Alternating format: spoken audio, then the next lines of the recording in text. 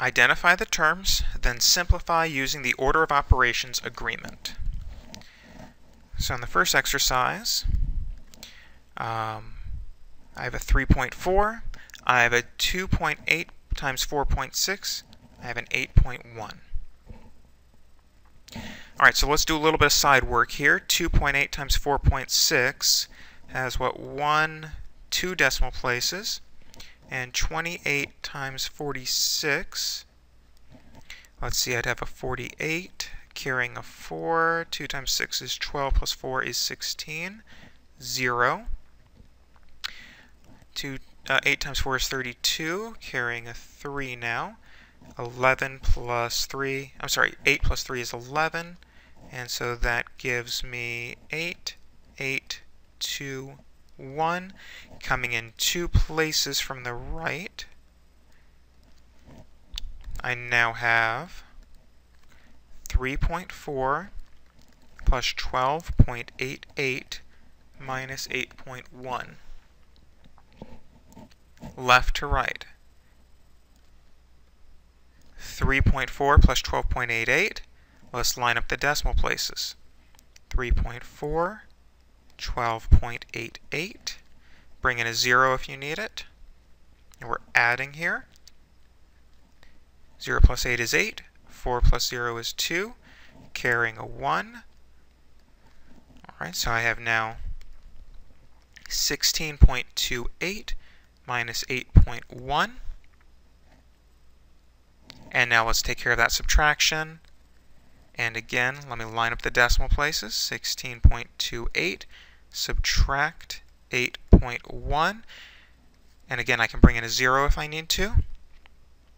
8 subtract 0 is 8. 2 subtract 1 is 1. And 16 subtract 8 is 8. So 8.18.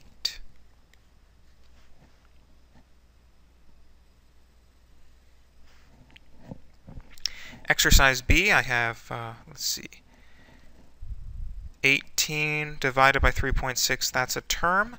1.4 and 6.8 are separate terms. So using the order of operations agreement, from let's take care of that division first. 3.6 divided into 18.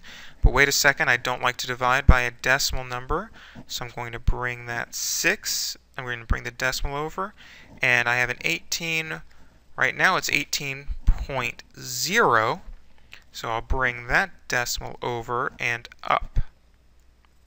So equivalently now I have 36 divided into 180.